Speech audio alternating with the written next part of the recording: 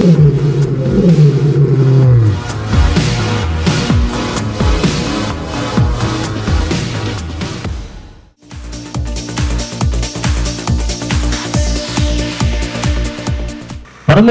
గ్రంథము పరమగీతముల గ్రంథము ఏడవ అధ్యాయము ఏడవ వచనాన్ని చదువుకుందాం. పరమగీతముల గ్రంథము ఏడో అధ్యాయము ఏడో వచనం. నీవు తాళ్ళ వృక్షమంతా తిన్నను దానవు నీ కుచములు గెలల వలె ఉన్నవి.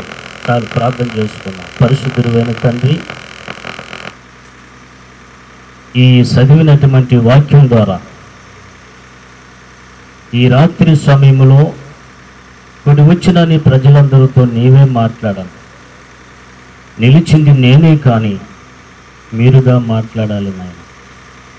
నా సబుద్ధి నా సొంత బుద్ధి నా ఆలోచన తలంపులు పక్కన పెట్టి ఆత్మ ధ్యానము ఆత్మ జ్ఞానము ఆత్మ వివేచన నాలో మీరు కలిగించి మీ మాటలను సంపూర్ణంగా నీ ప్రజలకు బోధించండి అర్థమయ్యేలాగా మాట్లాడండి నాయన.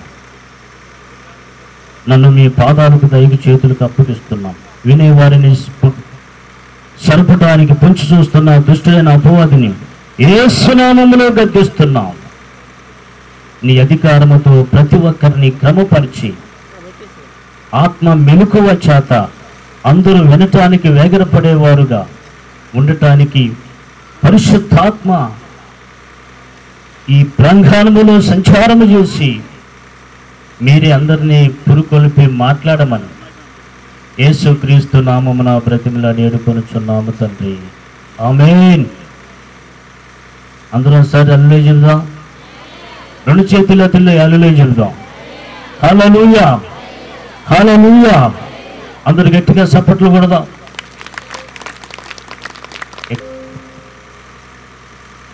ఎందుకు నిలలో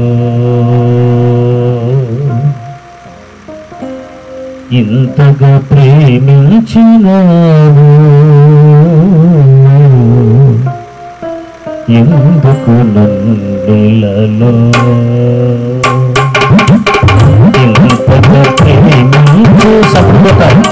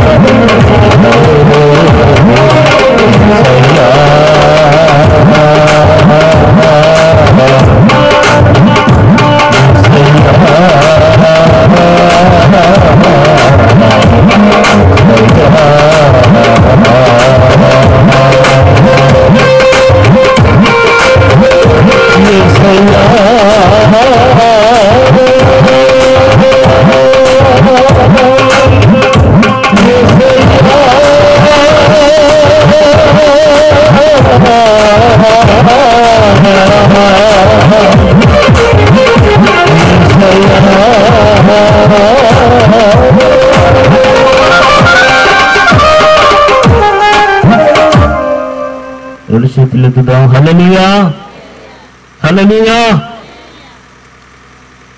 సరే మంచి ప్రియులరా మనం చదువుకున్న వాక్యాన్ని సమయోచితంగా కొద్ది నిమిషాలు మనం ధ్యానం చేసుకుందాం. జాగ్రత్తగా గమనించండి. ఎవరు అటు ఇటు తిరగవద్దు. మీరు దేవుని సన్నిధికి వచ్చినప్పుడు దేవుని సన్నిధిలో జాగ్రత్తగా కూర్చొని దేవుని మాటలు వినటం నేర్చుకోవాలి. ఎందుకంటే దేవుని యొక్క వాక్యము మనల్ని బ్రతికిస్తుంది మన బాధలలో నెమ్మది కలిగిస్తుంది. కనుక దేవుని వాక్యాన్ని జాగ్రత్తగా వినాలి. వినుట వలన ఏం కలుగుతుందంటే విశ్వాసం కలుగుతుంది. ఆ విశ్వాసం నిన్ను స్వస్థపరుస్తుంది. ఆ విశ్వాసం నీ జీవితంలో ఎన్నో ఎన్నో ఎన్నో మేలులు కలగజేస్తుంది. ఆ విశ్వాసాన్ని బట్టి మీ కుటుంబాలలో అద్భుతాలు చూస్తారు దేవుని సన్నిధికి వచ్చినటువంటి మనము దేవుని వాక్యాన్ని వినకుండా అటు చూస్తూ ఇటు చూస్తూ అటు ఇటు తిరుగుతున్నాం అనుకోండి మీరు ఎంతకాలం దేవుని సన్నిధికి వెళ్ళినప్పటికీ మీరు విశ్వాసంలో వృద్ధి పొందలేరు. కనుక మీరు దేవుని వాక్యాన్ని జాగ్రత్తగా వినాలి. దేవుని వాక్యాన్ని అబ్జర్వేషన్ చేస్తుండాలి. లేఖనాలను బట్టి. జాగ్రత్తగా ఉండాలి. ఇంత ఖర్చు పెట్టి ఈ సభలు జరిగిస్తున్నప్పుడు ఈ సభలలో నీ వచ్చినటువంటి ప్రతి ఒక్కరూ కూడా కొన్ని మేలులు పొందుకునేటువంటి ఒక నిరీక్షణ కలిగి ఉండాలి.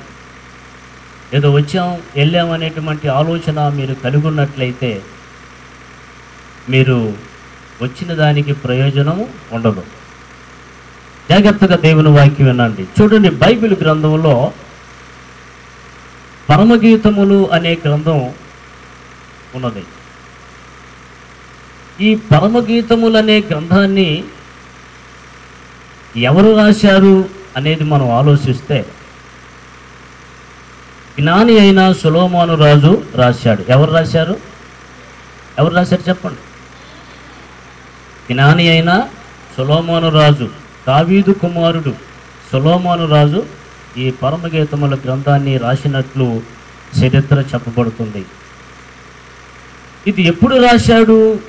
అనేది మనం ఆలోచిస్తే క్రీస్తుకు పూర్వము పది వందల పద్నాలుగు సంవత్సరాల క్రితం ఈ గ్రంథాన్ని జ్ఞాని అయిన సులోమోను రాజు రాశారు. ఆయన రాసినటువంటి గ్రంథములో కొన్ని పదాలు మనం చదువుతుంటున్నప్పుడు వింటున్నప్పుడు ఎలా ఉంటుందంటే నా ప్రియుడా నా ప్రియురాల అనేటువంటి పదాలు ఎక్కువగా ఉంటాయి. కొంతమంది చదివేవారు వినేవారు ఇంకా అనేక మంది బైబిల్ యొక్క తర్జుమా లేనటువంటి వారు తాత్కాలికమైనటువంటి బోధలు చేసేవారికి దీని యొక్క చరిత్ర పూర్తిగా అవగాహన కాదు. ఒక పాస్టర్ గారు మా ప్రాంతంలో ఈ బైబిల్ గ్రంథంలో ఉన్న ఈ పరమగీతాన్ని మేము బోధిస్తున్నప్పుడు అతను నన్ను కలుసుకొని పాస్టర్ గారు పరమగీతముల యొక్క గ్రంథము యొక్క సారాంశం ఏమిటో ఒక ప్రియుడు ప్రియురాలు ఇద్దరు కలుసుకొని ప్రేమించుకొని రాసుకున్నట్లు కనిపిస్తుంది ఆ గ్రంథం యొక్క సారాంశం అని అతను నాతో చెప్పాడు. నీవు తప్పుగా ఆలోచిస్తున్నావు జాగ్రత్తగా. ఆ గ్రంథములో చాలా మర్మం దాగి ఉన్నది. దాన్ని అబ్- అబ్జర్వేషన్ చేసి జాగ్రత్తగా విని జాగ్రత్తగా చదువుకొని గ్రహించు. తప్పుగా భావించవద్దు. దేవుని గ్రంథములో ఏది కూడా తప్పు ఉండదు. ఒకవేళ ఏ మత మత గ్రంథాల్లో తప్పులు ఉండవచ్చు. కానీ ఈ గ్రంథంలో తప్పులు ఉండవు. నీకు అర్థం కాని చరిత్ర ఏదైనా ఉంటే దాన్ని తెలుసుకోవడానికి ప్రయత్నం చేయి దేవుడు నీకు తెలియజేస్తాడు అర్థం చెప్తాడు. అంతేగాని తప్పుగా భావించవద్దు. ఈ గ్రంథం పేరేంటంటే పరిశుద్ధ గ్రంథం. అది పరసంబంధమైన గ్రంథం. పరమగీతము. చూడండి ప్రియులరా మధ్యాకాశంలోనికి రాబోతున్న యేసుక్రీస్తు వారికి ఈ భూలోకంలో చెద్దపడుతున్న సంఘానికి ఉన్నటువంటి ప్రేమ అనుబంధాలు ఈ గ్రంథంలో కనపడతాయి. కనుక ఈ గ్రంథములో సొలోమోను రాజు రాసినటువంటి ప్రవచనాలు చాలా మర్మయుక్తమైనవి చాలా జాగ్రత్తగా ఆలోచించవలసినటువంటివి గ్రహించవలసినటువంటివి. చాలా మర్మంతో కూడినటువంటి గ్రంథం ఇది. కనుక ఈ గ్రంథాన్ని ఎప్పుడు రాశాడంటే క్రీస్తుకు పూర్వం అంటే యేసు క్రీస్తు వారు ఈ భూలోకంలో కన్యామరియ గర్భములోనికి రాకముందు క్రీస్తుకు పూర్వము పది వందల పద్నాలుగు సంవత్సరాల క్రితం రాయబడింది ఈ గ్రంథం. ఈ గ్రంథములో మనం చదువుకున్నటువంటి అంశం ఏంటంటే ఏడో అధ్యాయము ఏడో వచనములో నీవు తాళవృక్షమంత తిన్నను దానవు అని చదువుకున్నాం. ఇది ఎవరిని గురించి రాస్తున్నాడు? జ్ఞాని అయిన సులోమోను రాజు అనేది మనం ఆలోచిస్తే ఈ జ్ఞాని అయిన సులోమోను రాజు యుజరాల ప్రజలను యోధా ప్రజలను పరిపాలిస్తున్నటువంటి మహారాజు జ్ఞాని అయినటువంటి వ్యక్తి. చాలా జ్ఞానం కలిగిన వాడు. ఈయనకు ఏడు వందల మంది భార్యలు ఉండేవారు. మూడు వందల మంది ఉపపతులు ఉండేవారు.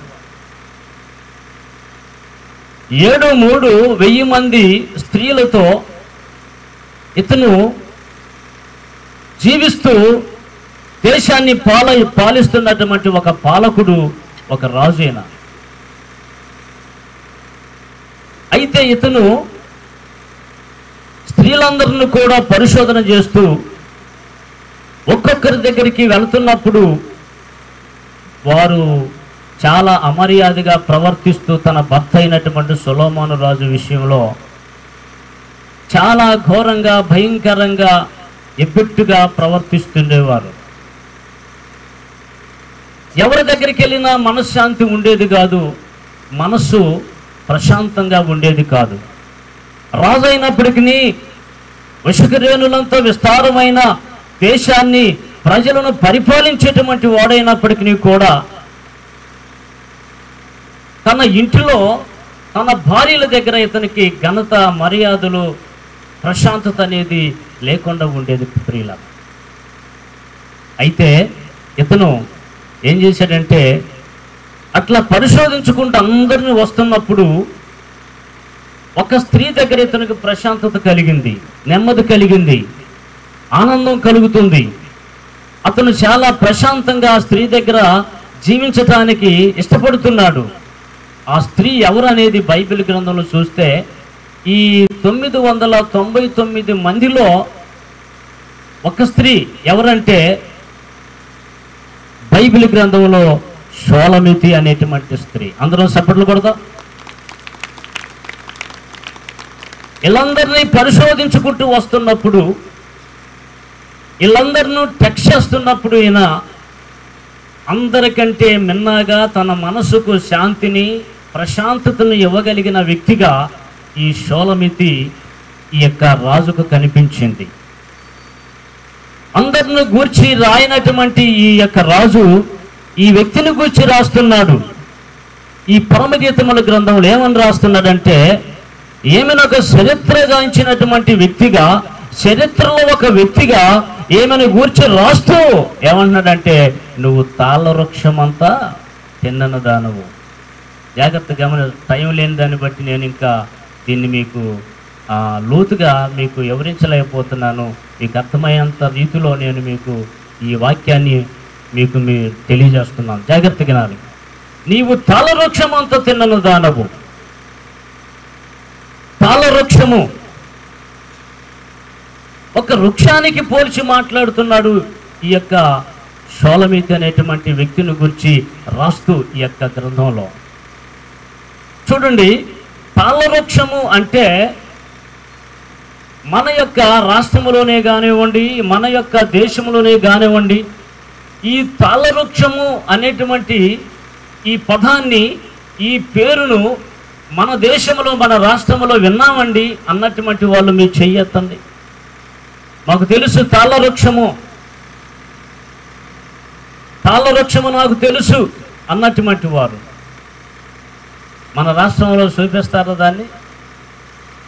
మన దేశంలో చూపిస్తారా? చూడండి మన రాష్ట్రములో ఒక పేరు ఒక చెట్టుకుంటే మరొక రాష్ట్రములో మరొక పేరు ఆ చెట్టుకుంటుంది. మన దేశములో ఒక వృక్షానికి ఒక పేరుంటే మరొక దేశములో ఆ వృక్షానికి మరొక పేరుంటుంది. ఈ తాళ వృక్షం అనేది ఎక్కడ ఉన్నది అనేది మనం ఆలోచిస్తే యేసుక్రీస్తు వారు జన్మించినటువంటి జన్మభూమి అయిన ఆ పాలిస్తీనా దేశంలో ఎరుషులేము పరిసర ప్రాంతాలలో ఉన్నటువంటిది ఈ తాళ వృక్షం. ఆ దేశంలో దీన్ని ఏమంటారంటే తాళ్ళ వృక్షము అంటారు. మన దేశానికి వచ్చేసరికి దీన్ని ఏమంటారంటే తాడి చెట్టు అంటారు. అందరం సప్పట్లు కొడదాం. ఆ దేశంలో ఈ చెట్టు పేరు తాళ వృక్షము. మన దేశంలోకి వస్తే ఈ చెట్టు పేరు ఏంటంటే తాడి చెట్టు. అక్కడేమో వృక్షం అంటారు. మన దగ్గర ఏమో తాడి చెట్టు అంటాం. అక్కడేమో తాళ వృక్షం అంటారు. ఇక్కడ తాడి చెట్టు అంటాం మనం. తన భార్య అయినటువంటి షోలమితిని ఆ తాడి చెట్టుకు పోల్చి రాస్తున్నాడు ఈ జ్ఞాని అయినటువంటి సొలోమోను రాజు. సహోదరి సహోదరులరా జాగ్రత్తగా గమనించండి. తొమ్మిది వందల తొంభై తొమ్మిది మందిని పరిశోధించాడు. వాళ్ళందరినీ టెక్స్ట్ చేశాడు. వాళ్ళందరి ఎందు మంచి మనసు లేదు మంచి నిరీక్షణ లేదు. నా భర్త అనే విశ్వాసం లేదు నమ్మకం లేదు. ఆయన వెళ్ళినప్పుడు ఆయనకు తగిన మనస్సాక్షి కలిగి ప్రేమించే ఆలోచన లోబడే ఆలోచన ఆ తొమ్మిది వందల తొంభై తొమ్మిది మంది స్త్రీలకు లేదు. ఈ స్త్రీకి ఆయన వెళ్ళినప్పుడు నా ప్రియుడా నా వాడా నా వరుడా అని కూర్చొనబెట్టి ఆయన పరామర్శిస్తూ ఆయన ప్రేమించి లాలించి ఎంతగానో అభినందిస్తూ ఆనందింపజేసేటువంటి వ్యక్తి ఆయన వశపరుచుకున్న వ్యక్తి ఈ షోలమితి. స్తోత్రం. హలలుయా అందులో గట్టిగా సభట్లు కొట్టండి. కనుక సులోమోని రాజును ఈ స్త్రీ వశపరుచుకుంది ఆకర్షించుకుంది. తనకు ఆ స్త్రీ దగ్గర మంచి మనసు మంచి ఆలోచన మంచి తలంపులు ఉన్నాయి. ఆ స్త్రీని ఇతను వర్ణించి ఆ స్త్రీని గూర్చిన చరిత్ర తను రాస్తున్న గ్రంథములో లెక్కతములు చేస్తున్నాడు. నీవు తాళ్ళ వృక్షమంతా తిన్నన దానవు. ఎందుకు ఆ తాడి చెట్టుకు పోల్చి ఏమని గూర్చి మాట్లాడుతున్నాడు ఏమని గూర్చి రాస్తున్నాడంటే తాడి చెట్టు చూడండి ఏ చెట్లను చూసినప్పటికీ కూడా కొన్ని కొన్ని చెట్లు పేర్లు ఉన్నాయి మన ప్రపంచంలో మన దేశంలో. దాదాపు ఎనిమిది వందల ఎనిమిది వందల నలభై రెండు చెట్ల పేర్లు ఉన్నాయంట. మన దేశంలోనే మన భారతదేశంలో ఎన్ని చెట్లు ఉన్నప్పటికీ కూడా ఏ చెట్టుకు ఏమిని పోల్చకుండా తాడి చెట్టుకు పోల్చి రాస్తున్నారు ఏమేను? అంటే ఆ తాడి చెట్టు ఏం చేస్తుందంటే విత్తనం భూమిలో వేసినప్పుడు అది మొలిసి స్టడీగా స్ట్రైట్గా అది వెతుకుతూ ఉంటుంది. దానిలో ఏ వంక వాపులు ఉండవు. అది చక్కగా వెతుకుతూ ఉంటుంది. భూమిలో నాటినప్పుడు తాటి విత్తనాన్ని అది మొలిసి ఏం చేస్తుందంటే చక్కగా స్టడీగా వెళ్ళిపోతూ ఉంటుంది పైకి. దాని వెతుకుదల ఎంత చక్కగా ఉంటుందంటే ఎంత స్టడీగా ఉంటుందంటే ఎవరు వర్ణించలేనటువంటి వర్ణాతీతం. అంత బాగా వెతుకుతూ ఉంటుంది. అంటే దానికి అర్థం ఏంటంటే నేను వివాహం చేసుకున్న స్త్రీలందరూ కూడా నా దృష్టి ఎదుట నీలాంటి అభిమానము నీలాంటి ప్రేమ నీలాంటి ఆకర్షణీయము నీలాంటి లోబడే తత్వం ఎవరిలో లేదు. వాళ్ళందరూ వంకర వాళ్ళు నీవు తిన్నన దానివి నీవు మంచిదానివి. తాడి చెట్టు ఎలాగ భూమిలో నాటబడినప్పుడు అది స్ట్రైట్గా స్టడీగా అది చక్కగా ఏ వంకరతనం లేకుండా వెదుగుతుందో ఆ విధముగా నీవు నా దృష్టి ఎదుట ఉన్నావు అని ఆ జ్ఞాని అయిన సులోమోను రాజు ఆ తాడి చుట్టుకు పోల్చి ఈ స్త్రీని గురించి రాస్తూ చరిత్రలో ఆ గ్రంథంలో ఆమెను చాలా వర్ణిస్తున్నారు. చూడండి ప్రియులరా మన భక్తికి మనము జీవించే జీవితానికి ఒక చరిత్ర ఉండాలి. అడ్డుగోలుగా ఉండకూడదు. చాలామంది భక్తిలో వ్యర్థంగా ఉంటున్నారు. చాలామంది జీవితాన్ని వ్యర్థంగా వ్యయపరుచుకుంటున్నారు. చరిత్ర లేని పరిస్థితుల్లో జీవితాలను పతనం చేసుకుంటున్నారు. భక్తికి ఒక చరిత్ర ఉండాలి. చూడండి ప్రియులరా ఈ విధముగా మనం చూసినట్లయితే చాలామంది చరిత్ర లేని జీవితాలను అనుభవిస్తూ ఉంటారు. తొమ్మిది వందల తొంభై తొమ్మిది మంది స్త్రీలు చరిత్ర లేని జీవితాలు అనుభవిస్తున్నారు. ఈ ఒక్క స్త్రీ తన ప్రియుడైనటువంటి తన వరుడైనటువంటి తన భర్త వెడల ఒక మంచి ఆకర్షణీయమైనటువంటి మంచి మనస్సాక్షితో ఒక చరిత్రను పొందుకుంటుంది. స్తోత్రం. హలలుయా హలలుయా అందులో ఒకసారి రెండు చేతులు ఎత్తుదాం. అట్లాగని సప్పట్లు కొట్టండి రెండు చేతులు రైసల్లా సహోదరి సహోదరులరా ఏమిలో ఏమి లేదంటే వంకరతనం లేకుండా స్టడీగా వెతుకుతుంది. తన తన మన రాజు ఎదుట తన యొక్క ప్రియుడు ఎదుట తన యొక్క వరుడైనటువంటి భర్త ఎదుట ఒక స్టడీ తనకుంది. చక్కగా వెతుకుతూ ఉంది. అలాంటి స్థితి ఆ రాజు ఆమెను గురించి చూపిస్తున్నాడు బైబిల్ గ్రంథంలో. సరే ఆమెకు అన్ని సౌకర్యాలు అన్ని అనుకూలతలు కూలరు ఫ్రిడ్జు డబుల్ కాటన్ ఇంకా అనేకమైనటువంటి లోకంలో తనకున్న కావలసిన ప్రతి అవసరతలు అక్కర్లు వస్తువులు అన్ని కూడా ఈ రాజు సమకూర్చి తన ఇంటిని తన యొక్క జీవితాన్ని మంచిగా పోషిస్తున్నాడు సంరక్షిస్తున్నాడు. ఎందుకంటే ఆయన మనసులో మంచిగా వెదిగేటువంటి వ్యక్తిగా ఉంది. వంకరతనం లేదు. తొమ్మిది వందల తొంభై తొమ్మిది మంది స్త్రీలలో వంకరతనం ఉంది. వారు గృహాలలో అవసరమైన వస్తువులు లేవు ప్రియుల అలాంటి పరిస్థితుల్లో ఈ సులోమాను రాజు ఆమెను గూర్చి చరిత్రలో లెక్కిస్తున్నాడు. ఆమెలో వంకరతనము లేదు. ఈనాడు అనేకులు వంకరగా జీవిస్తున్నారు వంకరగా బ్రతుకుతున్నారు.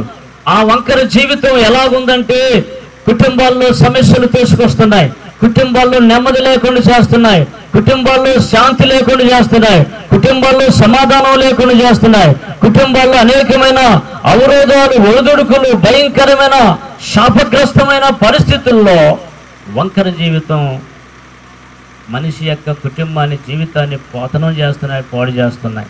అందరం సప్పట్లు కొడదాం.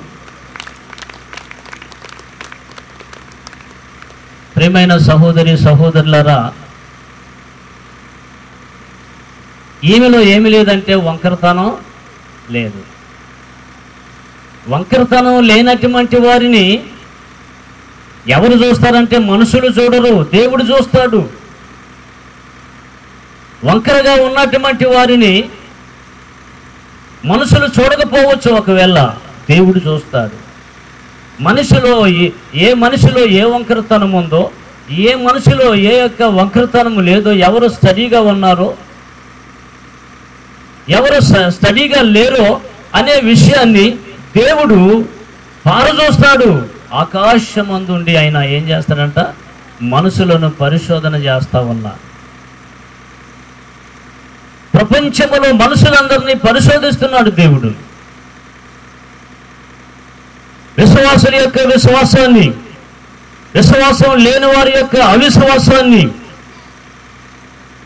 అసలు దేవుడు అంటే తెలియకుండా ఈ లోకంలో జీవించేటువంటి ప్రతి వ్యక్తిని ఆయన పరిశీలన చేస్తున్నాడు. ఆయన పరిశీలనలో సహోదరి సహోదరుడా నీవు చక్కగా ఉండకపోతే స్టడీగా ఉండకపోతే నీవు తాళవృక్షమంత తిన్నగా ఉండకపోతే యేసుక్రీస్తు వారు నీకు తీర్పు తీరుస్తాడు. భయంకరమైన శిక్షకు కారణాలుగా చేస్తాడు ప్రియులరా. ఆయన ఈ భూలోకంలోకి రాబోతున్నాడు.